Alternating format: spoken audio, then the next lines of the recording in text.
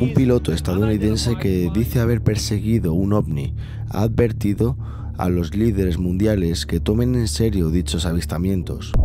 El comandante piloto David Fravor, retirado de la Armada de Estados Unidos, se pronunció en apoyo del exagente de inteligencia Luis Elizondo, quien la semana pasada reveló haber tenido a su cargo el Departamento de Investigación OVNI en el Pentágono denominado AATIP, Programa de Amenazas de Identificación de Aviación Avanzada, financiado por 22 millones de dólares, dinero negro de operaciones del Congreso según informa el sitio de Sun. El comandante Fraport, de 53 años, se encontraba volando uno de los aviones de combate en una misión de entrenamiento de rutina a unas 100 millas hacia el Océano Pacífico, frente a San Diego, cuando fueron desviados al ver una nave descubierta por el crucero USS Picton. Doctor Esquizo.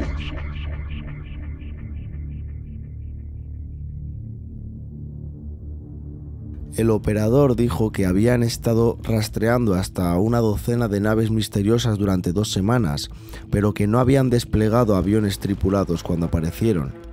El objeto apareció por primera vez a 80.000 pies, luego se precipitó hacia el mar deteniéndose a 20.000 pies y revoloteando antes de desaparecer del radar. Cuando el comandante Fravor llegó, vio una nave blanca flotando a 50 pies sobre una perturbación en el océano. En declaraciones, Fravor contó sobre su experiencia y sobre el objeto volador que logró ver. Dijo lo siguiente, simplemente me movía aleatoriamente alrededor.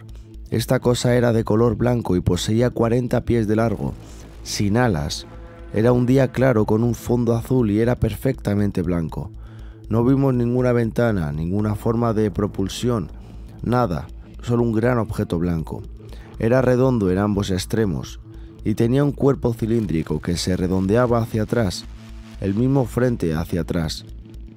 No puedo decir de qué estaba hecho, era blanco brillante pero no reflejaba mucha luz.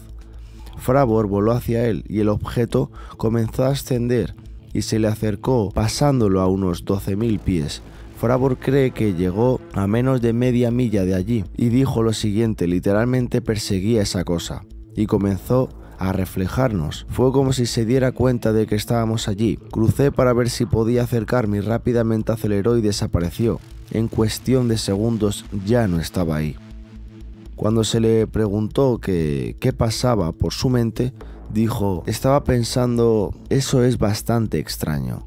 En 16 años de vuelo nunca había visto algo así. Nada que pueda flotar y ascender a esa velocidad, y luego acelerar y desaparecer. Tenía más curiosidad que miedo. Quería ver qué tan cerca podía llegar, ver qué era. A los dos aviones de combate se les ordenó dirigirse a un punto de encuentro a 60 millas de distancia. Sin embargo, el operador de radio de Picton se comunicó luego por radio y dijo que el avión misterioso había aparecido antes que ellos. Luego de ese incidente se envió otro aeronave para investigar y grabar imágenes de radar del objeto desconocido. El vídeo de 90 segundos muestra el objeto de forma oblonga flotando antes de lanzarse hacia la izquierda a una velocidad sin precedentes. Fravor dijo lo siguiente, atascó el radar, no se podía bloquear con un radar convencional, se podía seguir de forma pasiva y verlo, pero si se trataba de ver a más detalle no permitía hacer eso. Cuando despegaba y se va hacia un lado a una distancia significativa, la recorre en un periodo de tiempo muy corto. Estamos hablando de millas. Esa cosa va y en un segundo está fuera del costado de la pantalla. Mirar el vídeo. No hay canal de escape, no hay indicación de cómo se mueve eso. Habiendo visto muchos aviones diferentes, siempre pueden al menos ver los puntos calientes donde sale el escape. Fravor insiste que el objeto era de origen alienígena, o por lo menos la tecnología no era la que él conocía hasta el momento, o por lo menos de este mundo. Y continuó hablando, sé lo que vi, fue impresionante, tuvo un rendimiento increíble, obviamente no estaba en un acto hostil, tendría las manos ocupadas si lo estuviera. Honestamente creo que los humanos no tengan esa tecnología para hacer lo que hizo. Tampoco el cuerpo humano podría soportar aceleraciones como esa, Es una tecnología increíble para poder ir al espacio, retroceder y detenerse sobre el agua.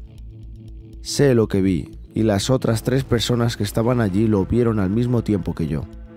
Creo que sería difícil presionar para cuestionar mi credibilidad y la experiencia de vuelo. Estoy totalmente cuerdo, en buena salud, no consumo drogas, lo vimos físicamente y lo perseguimos. Somos los únicos que realmente nos hemos acercado a una de esas cosas. Fravor ha hecho un llamado al experto espacial británico Stephen Hawking para ver el vídeo y dar su opinión al respecto. Fravor dijo que deberían estar hablando con Stephen Hawking, un hombre brillante. Me gustaría escuchar su pensamiento al respecto. Así que aquí tenemos un claro caso de un militar de la aviación estadounidense que estuvo en contacto con un ovni y lo tuvo delante. Hemos tenido ya muchos casos de avistamientos ovni de pilotos de, cazas. Son los que más posibilidades tienen de tener un contacto con, con un ovni o por lo menos un avistamiento ovni.